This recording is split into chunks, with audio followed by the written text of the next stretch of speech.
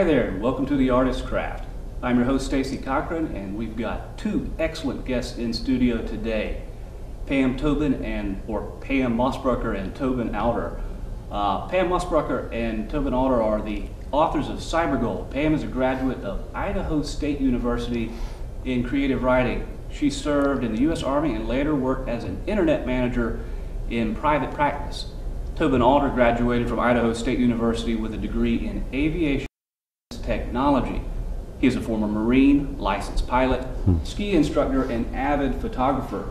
Willing to look outside the confines of ordinary work, his ideas transformed a simple information website into three successful businesses.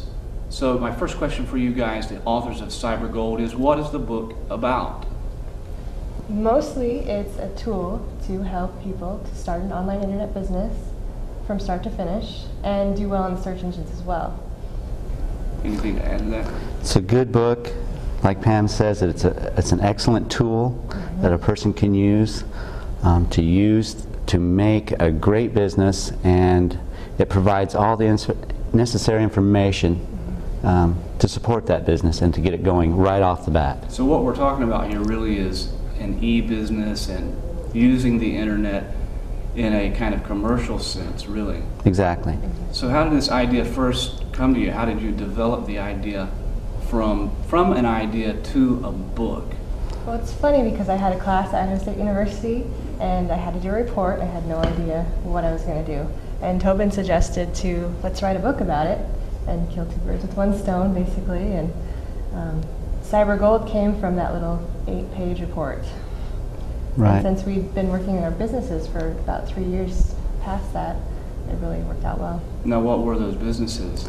We'd started a, uh, an e-commerce site off the bat. Originally, we had a site um, that mostly produced information for people. And then we wanted a, a nice e-commerce site, and basically that's where it all began there. So, you really learned e commerce from the ground up, it sounds like. Exactly. Pam herself, she had to learn how to make a, a website with the original HTML. So, we'll jump right to it. What advice would you give to someone who has an idea for a nonfiction book? Because your, guy, you guys' book is nonfiction in nature. Somebody watching us today has an idea that they're thinking about developing into a nonfiction book. Having come through the process now, what kind of advice would you give them? It's easiest to write about what you know. So if they have, like we did, we knew a lot about internet business and we knew things that other people probably wouldn't know. So we knew it would make a great book and be helpful to others. So the advice I would give them is to write every step down, Mhm. and that way they can turn it into a really great book. exactly. It's good advice. Start with something you know. Start with something you know, something that what's really important I feel is to have a passion about something that we all have, hobby. It wouldn't matter if you want to build model airplanes, you can make a website out of that and do something that's if not profitable, it'll at least give some really good information to people out there that are searching for that information. Yes. Awesome. definitely. Yeah, we hear that advice a lot. You know, start with something that you that you truly feel passionately about, something that you know about. Uh, well, what have you learned through writing the book? Because it took about a year to write, Yes. correct? What have you learned through the process of, of actually writing it over a year? Time to work on a book. Uh-huh. It's it's harder than you'd think. I mean, getting it down on paper is the easiest part. It's the going back and making sure it makes sense, and the editing and the proofreading and the styling and all of mm-hmm. that part that we had no idea. Mm-hmm. Even writing the index for Cyber Gold was a crazy experience.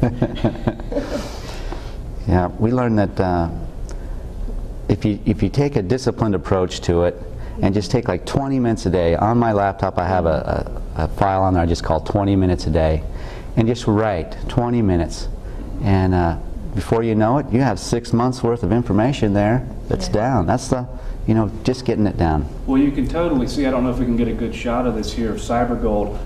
Uh, but you can see that they've done a lot with formatting stuff inside using very helpful looking, uh, you know, web browser, uh, you know, Screenshots pictures, is what they're screenshots. Yeah, that was the word I was looking for. screenshots. And like you said, you know, I can see that you couldn't put all this together in a single day No True. or a week even. I mean, this was something that you chipped away at little by little, you know, for a year. A really. year.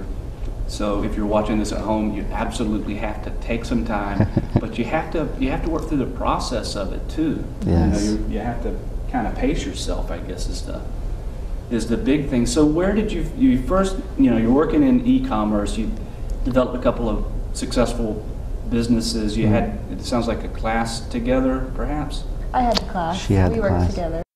Manager there. Okay, Yeah. so you, you had this class, you had the project, and you said, you know, this is a topical enough idea that we should develop this further into a book. So where did you go from there exactly? Well, what we had originally what happened is, is we started the idea with the book. Pam was taking the class, and we had that idea. Um, unfortunately, our shop lizard site developed a virus and crashed.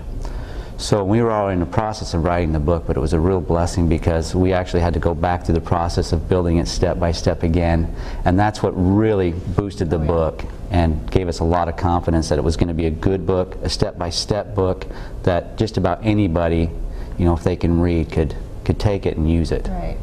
So in that devastation, we just we used it all for Cyber Gold and made it so much different than it would have been if Cyber if Shop just hadn't crashed. Right. well, well, following up on that, I, we hear a lot about uh, viruses on the internet, and I'm sure there are folks watching us today who have been alarmed by viruses or have received one of these email viruses. Uh, what can somebody do beyond, uh, you know, having Norton's antivirus and that kind of thing to protect themselves from from getting a computer virus, having come through it yourselves?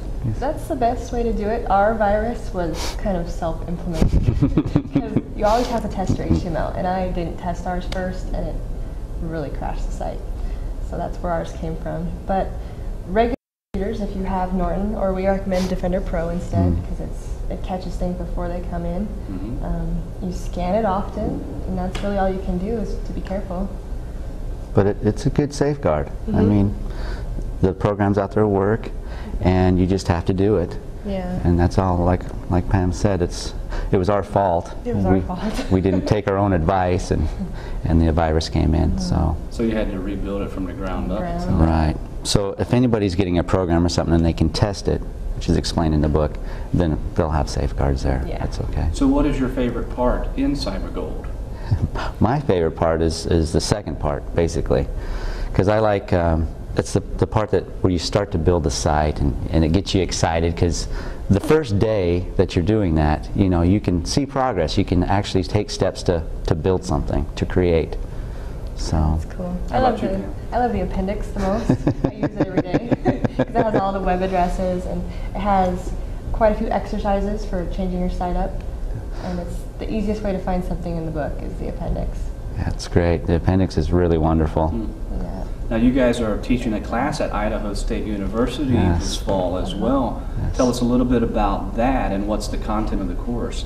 Well, the course is based entirely on the book. They will come into the class. We will help them find an idea for an online business, find inventory for their site if they want, or information if they want to do that, and they will build a complete site, start to finish. We're actually going to shop Lizard site as a base and and build that up with them alongside so they can see it happening step by step along with us. So it's going to be it's going to be exciting. Yeah, all the way to the end with SEO and everything. Mhm. Well, And we'll, we'll get to